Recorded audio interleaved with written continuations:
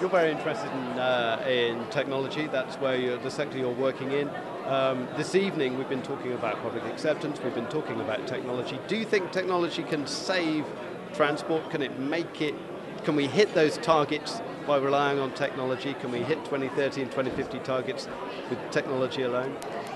Uh, I'm not sure we can hit it with technology alone. It's certainly going to play a significant role, but I, I think uh, government policy and, uh, and, customer acceptance of new technologies and the right technologies are going to be uh, an important piece of the puzzle. So, what are the new technologies that are most exciting in the transport sector at the moment? Well, I'm, I'm with a company called Westport Innovations. We've developed a high pressure direct injection fuel system technology that allows a diesel engine to effectively run on um, gaseous fuels, biogas, uh, natural gas, and still retain its dieselness. So its diesel performance, its diesel efficiency, um, and, uh, and at the same time operate on a cheaper, cleaner uh, fuel. Cleaner both from an emissions point of view and from a greenhouse gas emissions point of view. What's your opinion about some of the other types of uh, transport technologies, for example, um, hydrogen?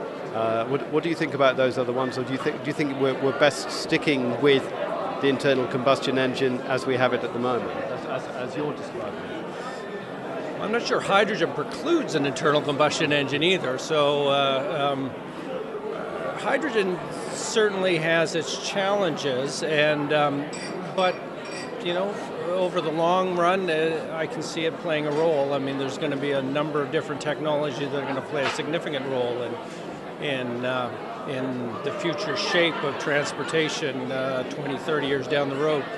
I think with uh, natural gas and biogas right now, I think what's uh, particularly intriguing is that it's a technology that can readily displace uh, oil quickly.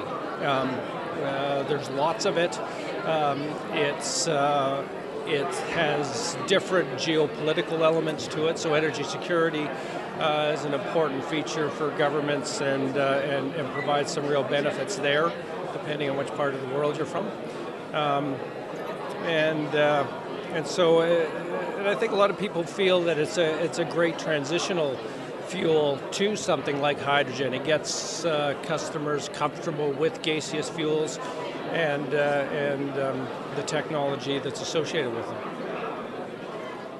Thank you.